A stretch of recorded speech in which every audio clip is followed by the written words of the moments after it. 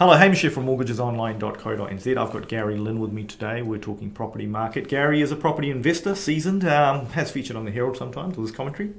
How are you, Gary? Yeah, great, fantastic. What's happening out there, man? Um, yeah, the, so the, since the uh, last two months, uh, since the banks have tightened up their lending, interest have gone through the roof, uh, back to before uh, COVID started. Uh, the property market is uh, really slowed down significantly. Um, if you look at the, if you especially in Auckland, you look at the Barfoot, the auction success rates have dropped to about 25%. Uh, that's really low. Usually, you, uh, in, a, in a normal market, you should be around 60%. In a hot market, it will be 70% plus. So 25%, yeah, just to shows uh, how what the how big of an impact uh, that the lending changes have been, the credit crunch and also the rising interest rates, and also we're not getting enough migrants. Yep, and I mean, this is um, on the background. I've got REINZ. Obviously, some of this doesn't flow into the median house price straight away, right? Not yet, not yet, not yet. Um, yeah.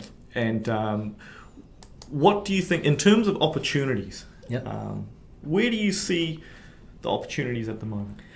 Uh, I think I think the opportunities, especially in the next uh, six to 12 months, provided that you know the banks are not going to loosen up the credit, uh, interest rates stay it is or even higher, migrants are not coming back, then obviously it's going to get worse potentially, right? Yep. So if you're an investor, I will I will start to get your uh, finances ready now.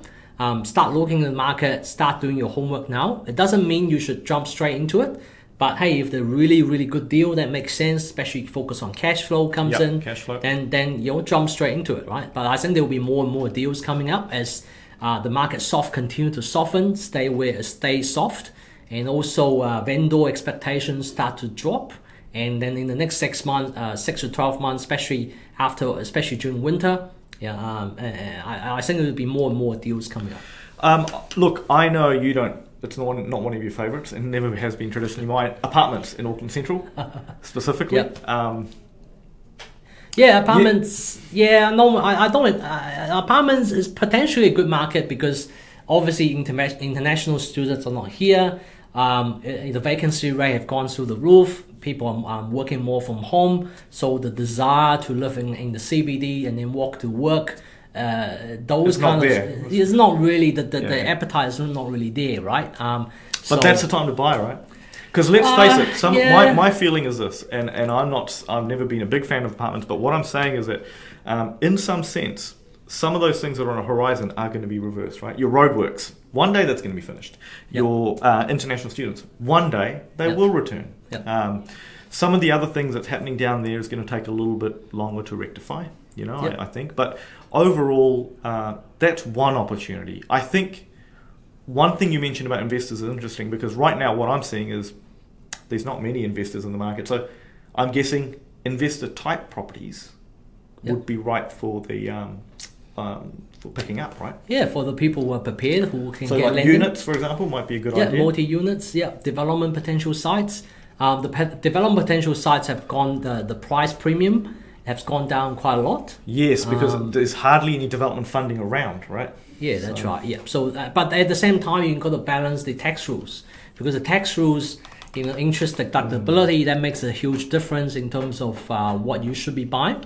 Um, so obviously, development side is not for everybody. Yeah, um, it's you, more if you've for got good cash flow already. Yeah, you've got good cash flow. You've got you've got income. quite a few properties yep. yourself already uh, then you can look at the take the next step up is that if you are buying development site, then you potentially, hopefully, you are in a position to develop it straight away. Mm-hmm. Um, I mean, develop sites are probably that's another video.